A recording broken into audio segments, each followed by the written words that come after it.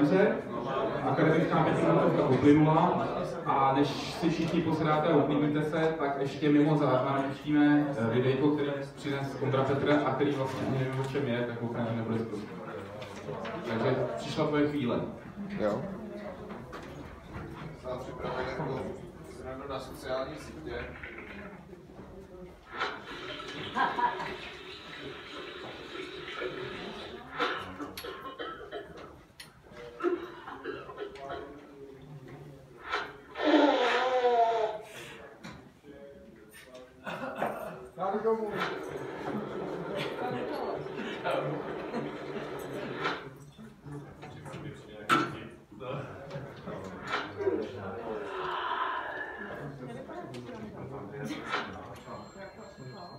Jo, tu, tohle půjde, tohle na veřejná taková premiéra, jenom vám to půjde na sociální sítě, abyste mohli sklidnit vaše, vaše voliče, že se tomu tématu věnujete.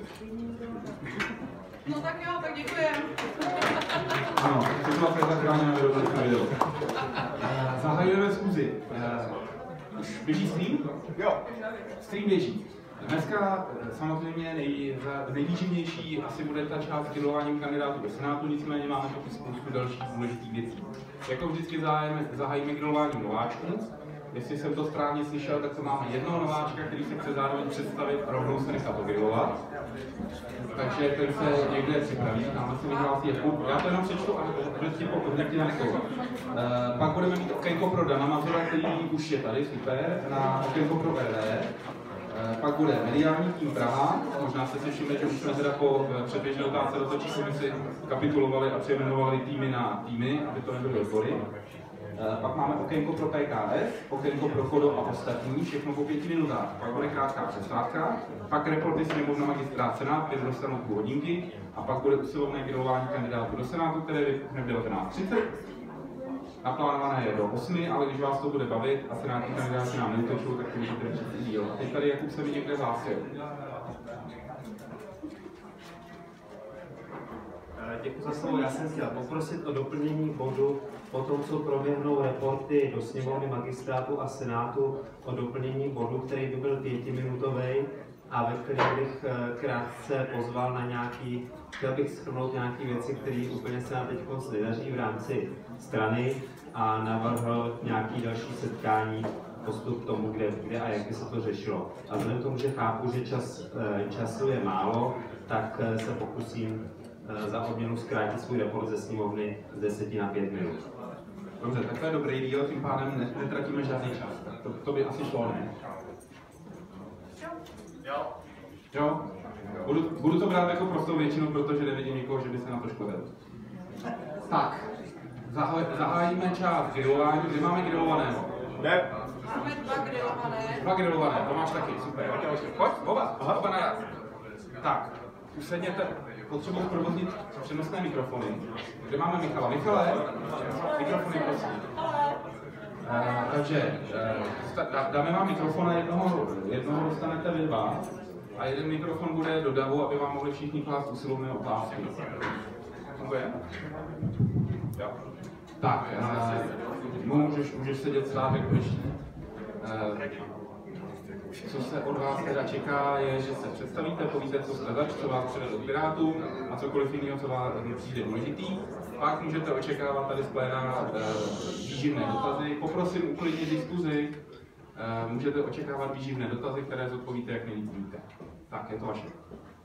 Ahoj, já jsem Tomáš Piškutín, jsem z Prahy 4 a Piráty jsem aktivně začal eh, sledovat, eh, když se dostali čtyři zastupitelé v Praze. Do zastupitelstva nevymlouvali se na to, že je tam málo a odvedli eh, dobrý kus práce, takže od té doby jsem se stal voličem Pirátů a loni jsem se stal dobrovolníkem Pirátů na Praze 4, kam chodím na místní združení. Piráti mě nominovali do Komise pro sociální, zdravotní a rodinnou politiku na městské části Praha 4, kde jsme měli výjezdní zasedání v domově s pečovatelskou službou. Na dalším jednání jsme řešili přidělování bytů a na poslední schůzi jsme řešili a, doporučení radě k rozdělení dotací na letošní rok v této oblasti. Co se týče a dalšího působení, tak jsem se zařadil do rezortního sociálního týmu Olgy Richterové, a kde připomínkuji některá sociální témata a založil jsem mini podtým pracovního práva, kde máme ambici věnovat se pracovnímu právu, trhu práce, modernizaci, digitalizaci, a sociální odpovědnosti zaměstnavatelů na trhu práce, a sociálního zabezpečení, které se vztahuje právě k pracovnímu trhu, rodičovský příspěvek, kratší pracovní úvazky, souběh se zaměstnáním a tak dále. Co se týče mojí profese, tak já jsem vystudoval práva na Masarykově univerzitě, pak jsem byl tři roky advokát koncipient a teďka sedm let mám svoji praxi, takže mojí pracovní náplní je právní poradenství, sepisování revize smluv, mimosoudní řešení sporů a zastupování klientů před soudy. Vzhledem k tomu, že se převážně zabývám pracovním právem, tak hodně pracuji s personalisty, to znamená lektoruji pravidelně workshopy pro personalisty a přispívám články do HR periody.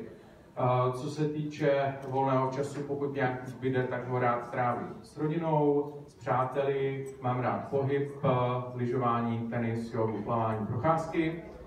Co se týče kultury, tak mám rád divadlo, film a nikdy jsem nebyl členem žádné politické strany ani hnutí. Pokud bych se měl nějak onálepkovat, tak bych se asi onálepkoval jako liberální demokrat, protože mám rád svobodu, demokracii a solidaritu. Tak to by asi na úvod bylo všechno. Děkuji. Ahoj všichni, já to vezmu výrazně uh, asi kratší formou než kolega. Já se jmenuji Adam Derner, uh, ještě na začátek teda řeknu, že Churchill říkal, nikdy nestůj, když můžeš sedět, tak dovolení si sednu. tak, ještě jednou tady jsem Adam Derner, je mi 26 let, uh, jsem lékař, jsem z Prahy 6, uh, původně jsem tedy z Mostu, ale v Praze jsem už 7 let. O politiku jsem se začal zajímat tak nějak, řekněme, relativně brzo bych řekl, kolem 14 let, 15, 16, 14, něco takového, už nevím přesně. A to skrz mojí mamku, ona je senátorka za starosty a nezávislé. Můj postoj k politice byl takový, že se do toho chci držet co nejdál a že to je pěkná špína, nechci s tím nic moc společného.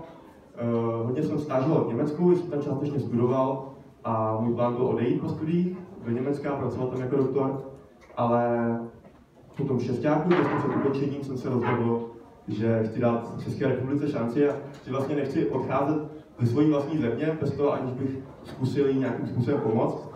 A proto bych chtěl vstoupit do politiky a začal jsem se vlastně koukat na to, která strana by mě nejvíce oslovila.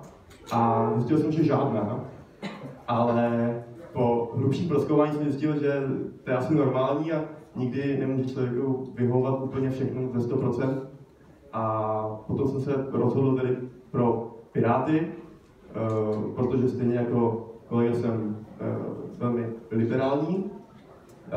Uh, co se týče ekonomického pohledu, bych řekl, že jsem spíše pravicový, a, na, ale na Piráty se mi hlavně líbí, řekněme, taková ta otevřenost a transparentnost. To, že nemluví, ale skutečně se nemají čeho bát. Říkají, koukejte těm politikům na ruce a sami to tak i dělají a sami zveřejňují, že všechny, všechny věci transparentně na internetu mají vlastně absolutní demokracii i co se týče v rámci té strany a stranové struktury a hlavně přijde, že většina těch lidí jsou hrozně fajn a méně si nehrají a zůstávají pořád tak nějak, tak nějak normální. Uh, jinak tedy kromě uh, práce ještě studuji uh, ekonomku, teď dálkově, protože si myslím, že to je do politiky docela docela důležité a dělám doktorát v neurovědách a řekl jsem si, že teda dneska tam představím a jelikož bylo hezky a mě kus, tak se nechám rovnou obidovat, takže prosím.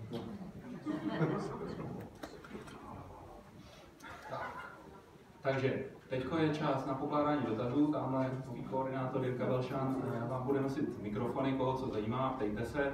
Ještě to trošku vylepšíme, protože dneska skutečně musíme dodržet ten rozvrh, tak na odpovědi budeme držet časový limit, dvě minuty. Budu ho hlásit, budu to tu měřit, budu to hlásit. Ano, první tazatel. Ahoj, Pavel Nozarský. Já mám takovou, vy jste oba hodně vzdělaný, abych se zeptal, Máte nějaké osobní ambice při tom vstupu do naší strany? Co toho očekáváte jako v tom v rámci osobního růstu nebo sebeuplatnění, nebo to by mě zajímalo?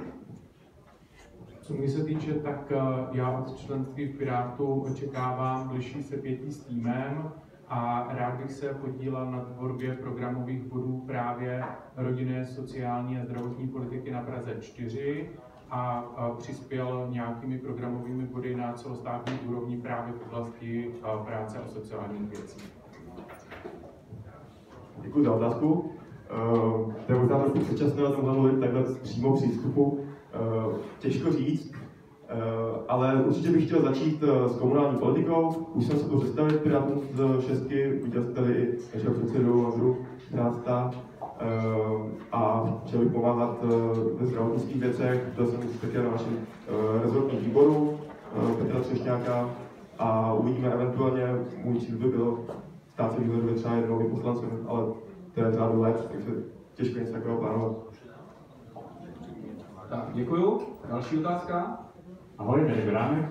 Děkuji, že jste přišli. Velká poklona za odvahu a chci vyzvěhnout to, že jako první otázka nezazněly naše oblíbený témata LGBT a legalizace marihuany. A proto se zeptám, protože já jsem nadšený z toho, když se rozšiřuje ten závěr, kam až jsme schopni rozvládnout a došáhnout, co jsou z vašeho pohledu témata, který zatím řešíme nedostatečně.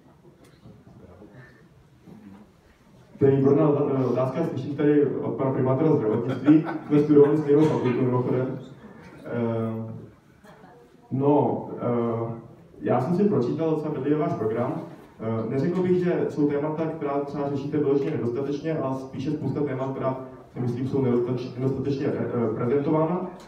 A většinou, většina společnosti, a hlavně tedy bych řekl starší lidé nebo i méně lidé, prostě vnímají jako tu stranu takovou nějakou záhadnou pochybných lidí, kteří jsou pro stahování věcí na internetu a legalizaci marihuany, takže já si spíš myslím, že je důležité, aby Piráti v médiích více mluvili o takových těch věcech, co pálí uh, normální občany, jako je třeba to zdravotnictví a, nebo i daně a vlastně nějaká vize ekonomického směřování naší republiky. Tak eh, co se týče programových bodů, tak určitě se ten program dá rozpracovat dále, co se týče třeba střednědobějších vizí, jakým způsobem to přepracovat. Já si myslím, že právě třeba ta sociální oblast potřebuje určitou reformu. A co se týče strany samotné, tak bych se přimlouval za to, aby se rozšířila členská základna, právě proto, že o pirátské straně se díky té nízké členské základně poměrně úspěšně daří různým hoaxům a nepravdám, protože aby se to vyvrátilo, tak nestačí pousnout to někde na Facebooku, ale ideální je, pokud i někdo z menší vesnice, menšího města má v rodině nebo v okolí přátel někoho, kdo je schopen mu to osobně potvrdit nebo zaručit se, že je to hoax, případně mu vysvětlit, kde ta pravda je, tak eh, tady tohle přesvědčení se právě bez toho osobního kontaktu s tou stranou eh, velmi, velmi těžko. Tak, já děkuju. Další otázka. Je vás to hodně, tak určitě někdo dokáže vyprodukovat zajímavý a kvalitní dotaz, abych jenom musel trápit já zbraňovou legislativou. Odvažte se, prosím, někdo. Protože já jim jinak budu dávat vražený otázky, jo, takže ušetřete je a dejte mi něco normální. Pojďte jenom ty LGBT třeba. Hodně na zbraní. tak jako mám v zásobě skvělé věci, jo, migrační krize. No ale už, už se konečně někdo. Tak já bych se zeptala, co ty a LGBT.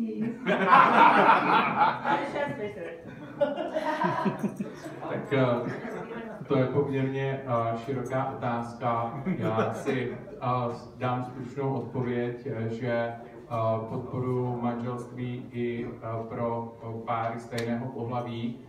Stejně tak, jako bych připustil možnost uh, párů opačného pohlaví uh, uzavřít registrované partnerství, pokud by bylo uh, zachováno.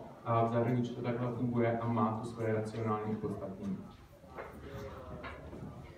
Já jsem velkým příznivcem LGBT komunity, mám spoustu kamarádů a také jsem pro, pro to, aby se mohli brát, aby se to jmenovalo manželství, aby měli stejná práva v tom manželství, jako mají heterosexuálové. Jsem i pro, uh, pro to, aby si mohli adoptovat či jinak pořídit děti. A z mého pohledu je tohle něco, to, že vlastně zakazujeme těmhle lidem uh, se brát, i když tím nikomu neškodí, uh, tak jednou naše děti, nebo minimálně teda vnoučata, se na to budou dívat jako prostě na, jako my se díváme na určité věci, co se děly ve středověku, to je můj pohled na tu věc, takže já jsem úplně pro, pro to, aby, aby, aby to bylo co nejvíc liberální. Výborně, děkuji. Další otázka. Mě zajímalo, pánové, Eva Ticha, co je, co je vám na nás sympatického? Proč jako nám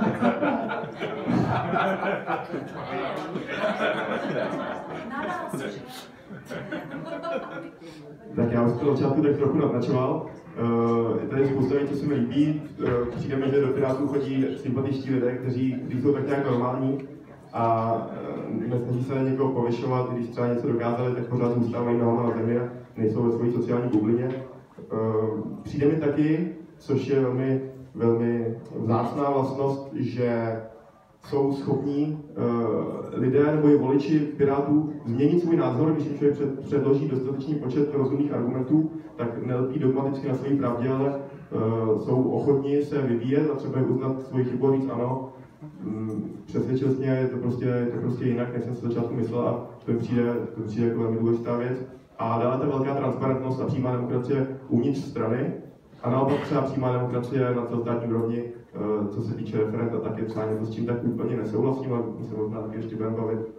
Eh, a taky si myslím, že to je jediná strana, která je opravdu jiná v naší scéně, která opravdu funguje jinak a, eh, a to se mi na ní líbí.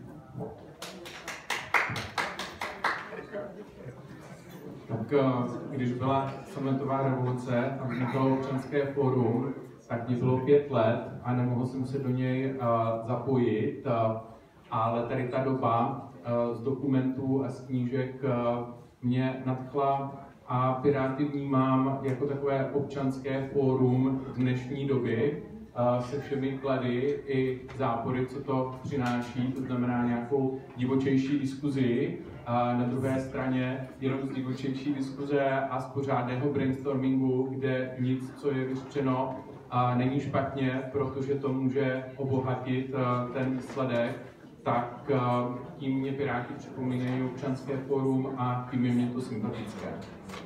Děkuji. Výborně, díky. Další dotaz. Tak já ještě jednu. Teď vlastně, když jste na to odpověděli, než já jsem se na to zeptal, já jsem právě zrovna chtěl říct o tom, že ta pirátská strana vznikla víceméně jako, že my, my fakt chceme opravdu změnit svět. Jo? A každý máme nějaký prostě vize té společnosti nebo toho, jak by se lidi k sobě měli chovat, jak by to mělo fungovat. A, a vlastně třeba u mě, když to řeknu za sebe, tak to šlo od od toho postoje vzdoru až po nějaký snahy se úplně vymanit mimo systém, úplně prostě, aby na mě stát vůbec nemohl, až potom teda poznám, že to musíme změnit zevnitř. A chtěl jsem se vás zeptat, jestli vy máte nějakou takovou jako velkou vizi, kterou teď jste o tom mluvili, jo, kterou byste to třeba obohatili. A může to být cokoliv, jestli paster třeba pacifistní, eh, jo, jako co, cokoliv jiného, jo. Jestli vy, jestli vy rozumíte, co mám na mysli, tak to. Rozumím, no, některé systémy v České republice by chtěli postavit úplně od znova, protože už jsou tak špatně vybudovaný, že se těžko vylepšují, jestli vůbec jde vylepšit. Já to můžu stručně ilustrovat třeba právě na příkladu sociálního systému, který neustále tam přežívá takový ten relikt, že stát se o všechny postará, tak uh, myslím si, že ten systém by měl být vybudován na tom, že prioritně v rámci svých možností se má sám uh, o sebe postarat jednotlivec.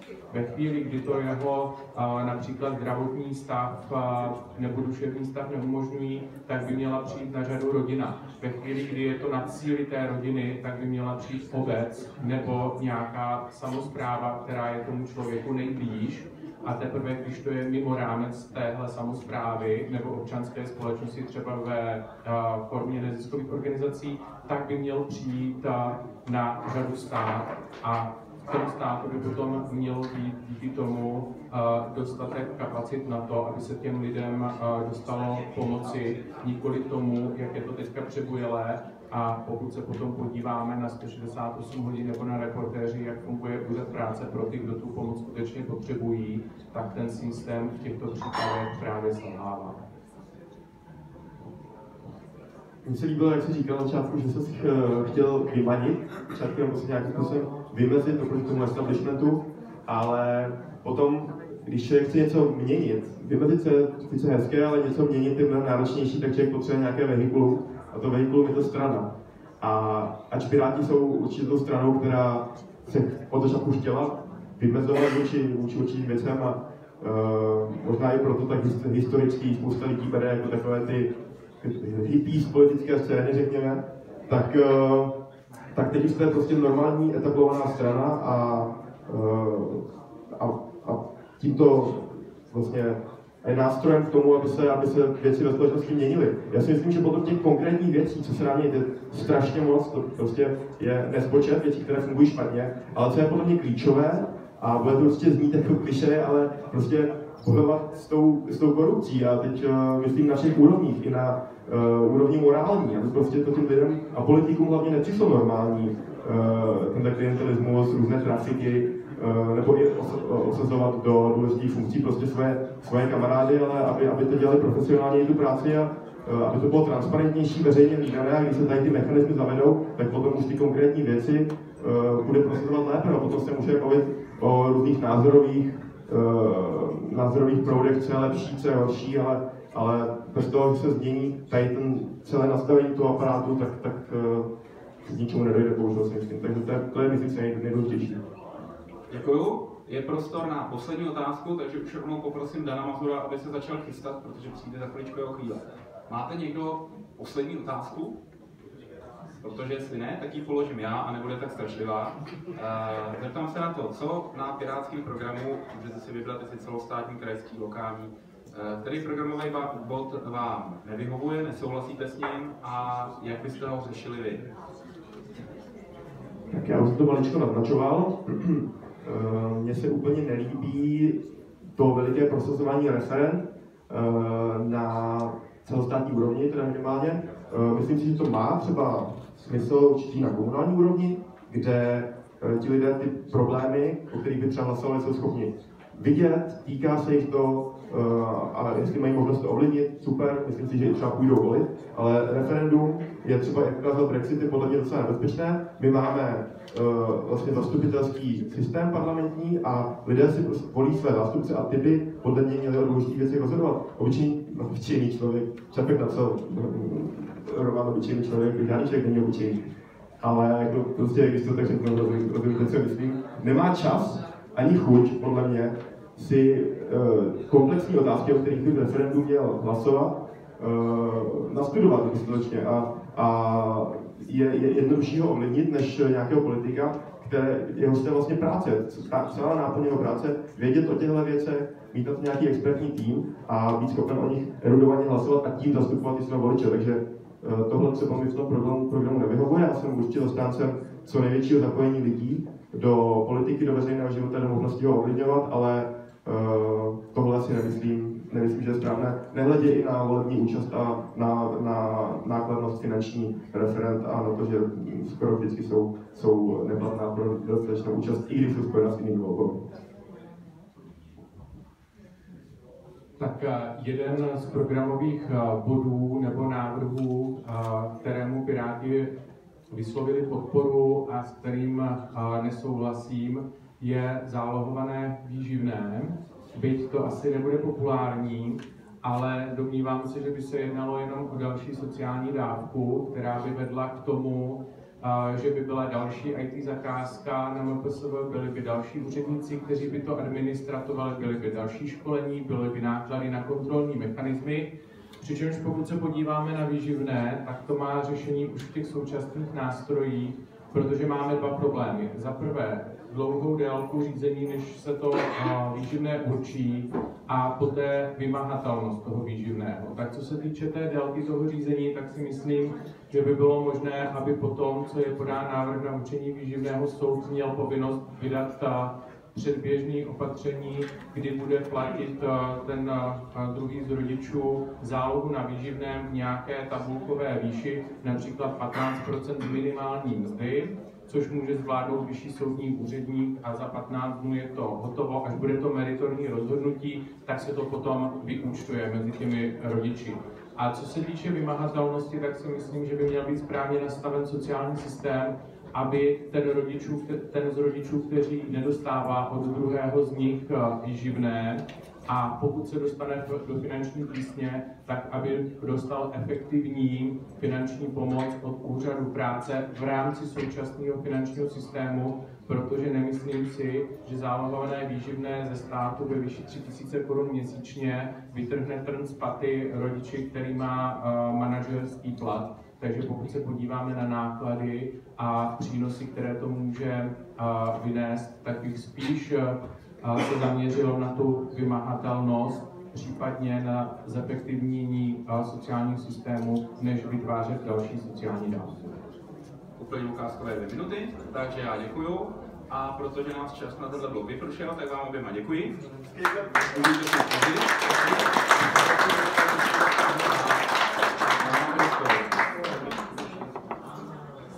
Prostor Danovi, aby nám mohl povědět, co je nového v republikovém výboru.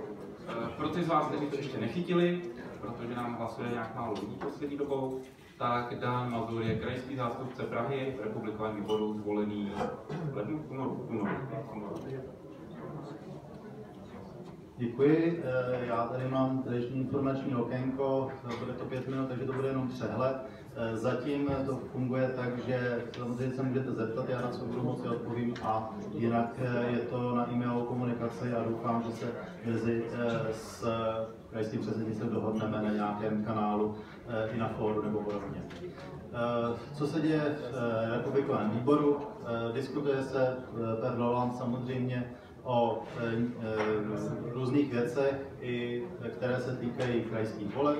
Máme e, další kolečko proběhlo a tentokrát už tomu budeme věřit, že připravíme vlastně společný program pro krajské volby. Je to dokument, který jsme měli na stole na minulém jednání na začátku února a ještě jsme se rozhodli to prohnat jednou před expertní týmy, takže tohle to proběhlo a budeme to schvalovat. Samozřejmě eh, pro Prahu eh, krajské volby jsou vlastně okrajovou záležitostí, ale už jsme tady měli vlastně ozval se středočeský kraj, že by rád využil naše krajské forum jako dobrovolníky, takže prosím o zapojení všech, co budou moci, i do krajských voleb. Dále se v republikovém výboru postupně řeší, ale samozřejmě v menší pracovní skupině to, eh, co máme dělat, abychom spolu lépe vycházeli, eh, co procesně, s čem se musíme eh, dovzdělat externě a podobně. Diskutuje se tam aktualizace strategie Pirátů. Poté, co jsme si na začátku tohoto roku zvolili nové republikové předsednictvo, tak došlo k aktualizaci. Vždycky na volební období se s tím počítá, takže tohle bylo projednáno. Návrh předsednictva byly nějaké návrhy na změnu eh, toho, té strategie Pirátů, které postupně prošly naším hlasováním. A eh, očekávám, že tohle po, naš, po té, co to bude eh, námi schváleno, tak to bude předloženo celorepublikovému fóru. Pro ty, co, pro které je to nové, tak republikový výbor plní dvě hlavní role. První je vlastně jakási kontrola republikového předsednictva a e, částečně i úkolování procesní, ale e, také předjednávání budoucí legislativy. S tím, že víme si, že samozřejmě ty e, pravidla naprosté, ty, ty nejzásadnější pravidla typu statut a podobně, tak to schvaluje celostátní fórum, ale na nás dopadá například organizační řád a statuty našich komisí. Otázka statutu kontrolních orgánů se v republikovém eh, výboru taky řeší. Měli jsme tam na minulém zasedání i bod toho, jestli jak se postavit zřizování krajských rozhodčích orgánů nebo rozhodčí komise, kontrolní komise. Na fóru krajském jsem si všiml, že diskuze k tomuto tak nějak vyzněla dostracena, takže to si to ještě jsem sám očekávání, co se dozvím, aby na příštím jednání, co je 14. března, v pracovně na Žižkově, tak s čím tam vlastně, s jakým naprotem zase zpátky do republikového výboru vlastně přijdu za Prahu. Na konci bych jenom rád poprosil, Chtěl bych se angažovat v nějaké pracovní skupině, která dlouhodobě se bude zabývat rozvojem pirátského programu, těch programových bodů, protože máme dlouhodobý program, máme vždycky program pro volby a podobně a vlastně zatím to je tak, že, se, že jsme se tomu věnovali vždycky nárazově před jednotlivými volbami a trošku tím trpí ten proces, takže jakási pracovní skupina vzniká. Já bych rád pozval i další, kdo se se mnou tím zapravdu bude zabývat, tak aby jsem pozval. Zároveň se otevřela v minulý měsíci otázka, nebo měsících otázka kodexu zastupitelů, eh, ať už na kraji, ať už eh, na obci, na městských částech. A myslím si, že je potřeba se tomu, eh, tomu věnovat i na celorepublikové úrovni, protože právě v tom se Praha vlastně liší od, od ostatních krajů, krajů, nejenom tím, jak si to před minulými komunálními volbami rozhodla, ale tím, i tím rytmem voleb, že krajské volby jsou oddělené, jsou posunuté fázově od voleb do zastupitelstv obcí na, po celé republice, zatímco v Praze to máme zároveň na krajskou, tedy magistrátní úroveň i do městských částí a tohle to promlouvá významně. Takže eh, opět, kdo se se mnou s tím bude, tím bude chtít zabývat, eh, dávám prostor. Děkuji. Eh, je nějaký prostor pro krátký dotaz? Jsou-li dotazy? Nejsou-li, samozřejmě mi napište, zavolejte, odchyťte mě kdekoliv. Díky.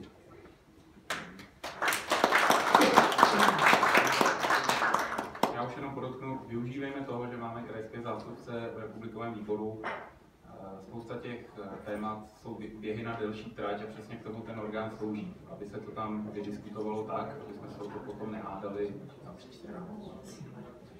Tak, další bod. Mediální tým. Tamhle máme Michala, který mě zrovna neposlouchá, ale bude mít teď okénko mediálního týmu. Eh, normálně to přednáší, tuhle část. Michal Zachar, ten bohužel z osobních důvodů nemůže být dneska přítomen, takže vybavil informacemi Michala a ten se toho dneska ujme.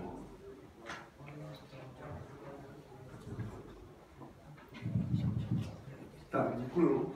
Je mě slyšet?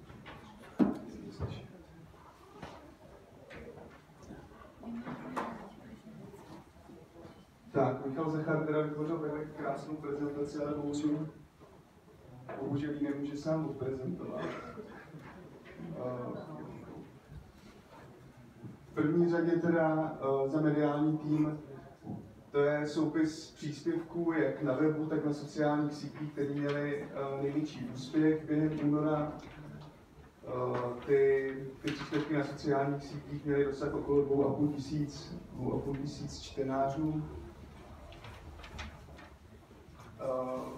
Potom uh, některé záležitosti z toho, co, co mediální tým nebo na čem pracuje a na čem bude dál pracovat. Pořád teda probíhá uh, ten projekt se zveřejňováním volebního programu. V tuhle chvíli má zveřejněno Praha 2 a Praha 6 a připravuje se, nebo uh, před zveřejněním je volební program Prahy 4, Prahy 8, Prahy 10, 13 a 14. Takže těm za mediální tým děkuju. A další důležitá věc je, uh, jsou pirátské listy v papírové formě, kdy už je ustanovený uh, pracovní tým a vedoucí toho pracovního týmu je Věra Marušiaková. Tohle to jsou statistiky pro srovnání uh, jednotlivých Facebooků místních částí, takže jenom tak jako pro orientaci, uh, jak na tom jste a jak je na tom jak je na tom, uh, jak jsme to vašem sousedi. Co to za čísla? Pardon, co to za čísla? Počty lajků na Počty. Facebooku, počty příznivců. Tak, počty sledování. Uh, jo. Uh, vlastně o volebním programu uh, o zveřejňování na deadline jsem už mluvil před chvílí, takže jenom výzva k tomu, že teda uh, tenhle projekt mediálního týmu pořád pokračuje a ty Prahy, kteří, které ještě nedodali volební program, tak Michal Zachar prosí, jestli je můžete teda poslat na, na jeho e-mail. Ještě tam bylo zpátky, uh, jo, uh, další prozba k, uh, taky už trvá několik týdnů vytvoření vašeho osobního a veřejného profilu na lidé.piráty.cz protože uh, se to potom bude zrcadlit právě na, na oficiálních stránkách. To je vlastně, to už tady probíhalo minulý, minulý měsíc, jsou to, uh, je to seznam soupis všech lidí, kteří jsou v mediálním týmu zapojení. Když poprosím ještě poslední odkaz, nebo poslední slide, tak Uh, Michal Polák je od 1. čtvrtý novým členem týmu, je to krajský media manažer, bude nazvaná ta pozice. A uh, jeho úkolem bude přesně mediální podpora uh, městských částí, takže určitě je dobrý se s ním seznámit, on bude chodit na vaše schůze a můžete se na něj obracet právě ve věcech uh, mediální propagace místní politiky. A je tu? Bohužel dneska tady není. Měl tady být, ale, ale se. On bude nastupovat od prvního čtvrtý. Tak. Není to apríl. Takže, jo, děkuju. Takže tím pádem máme další blok. Já Děkuju. A máš ještě něco, nebo chceš hodit kodoblok? No jestli je na to rovnou. No tam mělo být PK, se můžeme to prohodit, ať to můžeš... Dobře. Tak, tak prohodíme ty body a nejdřív, nejdřív kodoblok. Dobře. Uh, jo, máme i za kodo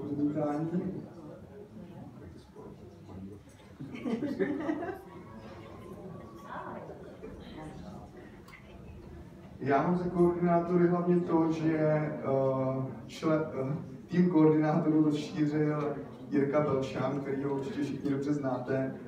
A tímto bych ho teda rád představil. Bude mít na starost s, zprávu kalendáře, rez, rezervaci pirátského, rezervaci pirátského centra. Rozesílám vám newsletter, který vám teď tenhle týden v úterý přišel poprvé v nové formě. A chtěl bych tomu něco říct. Tak děkuji za představení. Jak bych vám říkal, jsem nový koordinátor a vlastně vám jako členům budu mít na starosti kalendáře, newsletter a vlastně rezervace Pirátského centra. To znamená, pokud budete mít nějakou událost, kterou budete chtít na kalendář krajského združení, neváhejte mě kontaktovat. Stejně tak, pokud budete chtít zarezervovat tady prostor v Pice. A k tomu newsletteru teďka jsme vlastně spouštěli, nebo poprvé, poprvé šel přes službou MailChimp, takže měl by vám všem přijít. Pokud vám někomu nepřišel, tak mě tady buď odchytněte, nebo mi napište a koukneme se na to. Asi.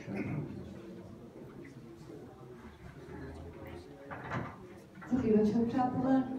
Mám tady tři krátké slajdíky za koordinátory akce, které chystáme a budeme dělat. První věc je happening ke světovému dní vody. Spolupracujeme s Danuškou Balcarovou a s Tomášem Horňákem a bude to o akce Nápavce konaná. Velice rádi budeme, pokud se zapojíte, ať už teda s přípravou, nebo potom, potom přímo na místě. A nějaké bližší informace samozřejmě, když mi napíšete, zavoláte, odchytíte si mě, tak vám velice ráda předám. Děkuju. Tady mi utekl někam obrázek, nevadí. Uklidme Česko klasicky, akce, kterou uznáme, umíme, víme, jak na ní. Ve dnech 3. čtvrtí až 5. čtvrtí není potřeba teda dodržet toho čtvrtého, pokud nemůžete, jak jsem zjistila, některé městské části nemůžou toho čtvrtého. Takže kdykoliv, prosím, vytvořte si event a prosím, pošlete mi ho, nějaký odkaz, za svoji městskou část, já ho přidám do celopražského eventu. Děkuji. Tak, hm, chystáme v Pirátském centru chytrý kvíz. Je to formát hry zábavy, kterou možná znáte. Uh, slibujeme si od toho to, že bychom přivítali v Pirátském centru lidi zvenčí, nějakým způsobem rozšířili povědomí o nás a pobavili se, možná se i něco naučili. Uh, musím teda říct, že celá ta akce je trošičku zvláštní v tom, že když vy si půjdete zahrát, možná to znáte, protože ten formát funguje už několik let, většinově se dělá v hospodách, když vy si půjdete zahrát, platíte vstupné, proto potřebujeme vědět, jestli byste vůbec o tuhle mm, aktivitu a tohle druh zábavy měli zájem, abychom nedomlouvali něco, co eh, nebude funkční. Takže taky se mi můžete ozvat, pokud vás to zaujalo nějakým způsobem. A to je všechno za mě. A já bych ještě poprosila Zuzku Drázdovou, která má krátkou pozvánku na věc poměrně důležitou. Tak, děkuji, já vás nebudu dlouho zdržovat. Řeknu to tak jenom úplně ve třech minutkách. A když budete mít k tomu nějaký dotazy, tak si mě tady odchyťte o přestávce nebo po konci a já vám k tomu ráda řeknu všechno, co vím a to je docela dost. Tak, o co jde? Uh, za necelý tři týdny, konkrétně v úterý 24. března, se bude konat uh, v Praze akce Nábor do registru dárců kostní dřeně. Bude se to konat uh, v budově Matfizu, ale je to otevřený i pro širokou veřejnost. Je to budova, která je na Malostranském náměstí, takže třeba poslanci to mají jako vyloženě přes ulici, vyloženě kousek. Tak budu ráda, když si tu informaci mezi sebou přidáte. A tak nějak jenom stručně o co jde. Eh, když někdo onemocní nějakou poruchou krvetvorby, leukémie nebo něco takového, tak jediná šance je eh, na záchranu je transplantace kostní dřeně. A eh, ve většině případů, můžeš to dát třeba další slide, ve většině případů to musí být od nepříbuzného dárce, protože se nenajde v rodině vhodný dárce. Základní podmínky pro vstup jsou 18 až 35 let, váha nad 50 kg, dobrý zdravotní stav. Koluje o tom spousta mýtů, jako že to strašně bolí, že toho člověk může ochrnout, když daruje a tak, anebo že když se tam jdete zapsat, takže vám rovnou budou na místě brát jako snížení, tak to vůbec není pravda. Pro jako 99% lidí, co se zapíšou, tak tím končí a už se nikdy nikdo neozve. Uh, ta šance, že se vám někdo ozve, je opravdu malá, protože ta schoda mezi pacientem a dárcem je velmi vzácná. Tak, a to je asi všechno. Jo. Trvá to, zapsání do registru trvá 10 minut, a to je asi, asi všechno. A když k tomu budete mít nějaké dotazy, tak se na mě tak se na mě obraťte, já vám ráda povím, co k tomu vím, školení od registru a sama jsem kostníři dvakrát darovala, takže to mám jako ověřený, že to fakt není nic strašného a snažím se tak jako šířit osvětu, aby se toho lidi nebáli, aby vůbec věděli, o co jde. Takže když budete mít dotazy, tak se na mě obraťte. Tak jo, všechno. No a ještě, ještě jsem zapomněla jsou tady takové červené letáčky a jsou na tom stolu u vchodu, který je teď úplně zaházený bundama. Ale tak, kdybyste chtěli, tak je sebou mám, tak vám dám letáček.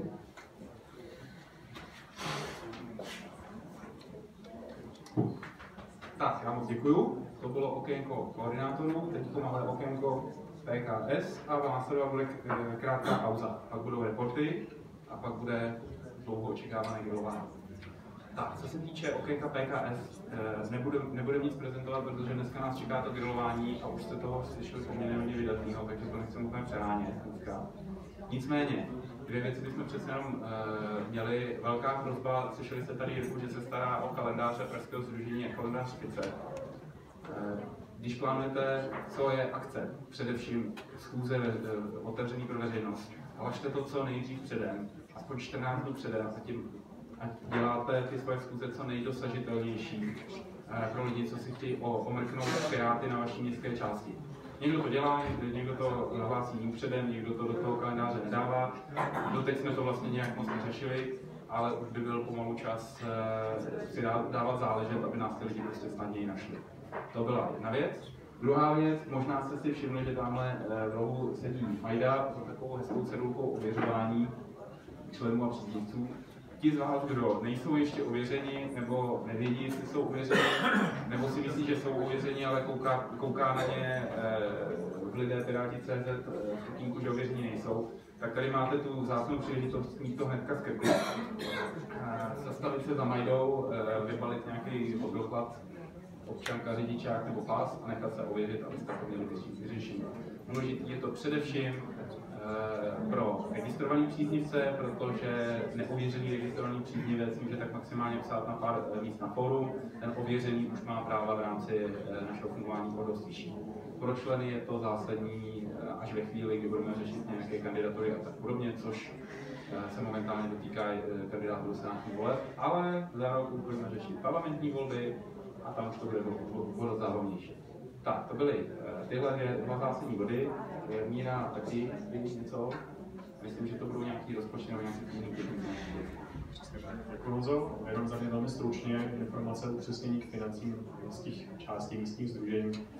Už jsem to tady několikrát zmiňoval, ale zkusím to zopakovat ještě pro ty, kteří to třeba v minulosti neslyšeli, jakým způsobem jsou konstruovány letošní rozpočtové položky pro místní združení. Každé MSK má svoji vlastní dedikovanou rozpočtovou položku na takzvané provozní výdaje. Z nich prosím nechte primárně věci, které jsou třeba nějakého opakovaného charakteru typu inzerce na sociálních médiích, nebo třeba nějací asistenti, anebo nějaké výdaje za pronájmy, zkrátka dobře pravidelné věci, které třeba na začátku roku ještě není zcela dobře možné odhadnout, kolik během toho jednoho rozpočtového období utratíte. Tady v této rozpočtové položce má většina MSek od nás do základu 20 tisíc plus částku, která byla z toho, co nevyčerpali loni. A připisují se jim tam automaticky jednou za měsíc peníze, které získají prostřednictvím fundraisingu nebo nějakých jiných forem získávání prostředků od vnějších dárců. Dělá to automaticky ale Škrupa. Je tam i nabídka, že pokud byste třeba měli nějakého významného dárce, který by vám přispěl větší částku, tak na zavolání nebo v reakci na e-mail budeme zprocesovat rychle než právě jednou za měsíc. A potom máte všichni společnou položku na projektové výdaje, to je aktuálně 440 tisíc, každému MSku jsme tam zrušili, zrušili. Založili takový virtuální klíbeček, virtuální obálku s částkou zatím 30 tisíc korun, s tím, že nepředpokládáme, že všechna MSK stáváte projektové položky budou čerpat, takže je to jako mírně overbookované a tady z té položky prosím takové té jednorázové typy výdajů, které typicky souvisejí s realizací nějaké akce nebo třeba výrobou pirátských listů, které můžete dělat klidně vícekrát do roka, ale zkrátka máte nějaké časové ograničení. A, a platí tam jedno důležité pravidlo ještě pro ty základní prostředky. Když vám něco zbylo v loňském roce a převáděli jste si to do dalšího roku, tak ty peníze, které byly převedeny z Loňska, půjde převést ještě do příštího roku, ale už ne do roku 2022. To se netýká těch peněz eh, z fundraisingu a těch peněz, které jste dostali v té základní letošní alokaci, ale tím, jak jsme s tím volní tak trošku experimentovali, získávali jsme zkušenosti, tak se stalo, že třeba MS, která už tehdy byla v opozici, jsme tam dávali bonus, aby měli více zdrojů pro opoziční práci, ale potom, když se nám rozpadly koalice, tak i ten koncept trošičku začal pokulhávat a najednou začal být nespravedlivý. To znamená, i ten důvod, abyste byli aktivní v průběhu toho volebního období, i vlastně to, že je to navázané na sněmovní volební cyklus, ze kterého pro Piráty plyne naprostá většina prostředků, nás vede k tomu, že už to neumožníme převést do toho komunálního volebního roku 2022. A možná to pro vás bude i o něco lepší motivace, abyste se měli více fundraizovat. A tam jenom připomínám, stále platí nabídka lidi až do konce roku, že pokud se vám podaří na jednoho aktivního člena k začátku roku, takže se podívejte, kolik jste měli aktivních členů na začátku letošního roku. Pokud se vám na jednoho člena podaří nafundraizovat 2000, to znamená třeba MS, která má 10 členů, na fundraizuje 20, tak my vám k tomu z rezervy předsednictva přehodíme 10 jako bonus. Tak to je za mě úplně všechno, kdybyste k tomu měli nějaký dotaz a doplněk.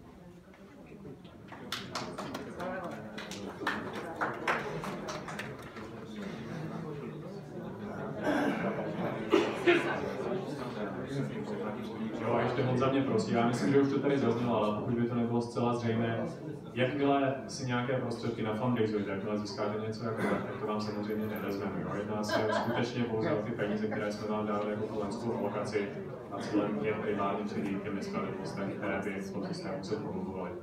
Podobně, kdo to znáte z městských částí, některé městské části jsou bohaté, protože dobře hospodařili, nebo třeba měli dostatek nemovitostí, tak vlastně vůči těm investům by takhle v průběhu času vznikla nerovnost a nebylo by to dobré.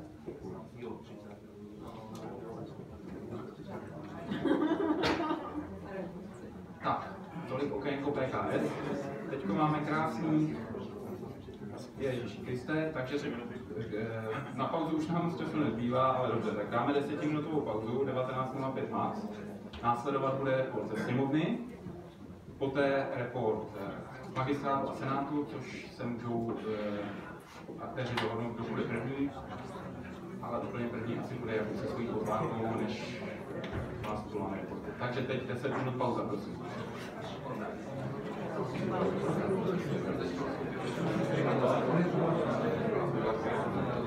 Čau, prosím tě, jak to v zásadě přečteme. A jenom kdyby byly dotazy,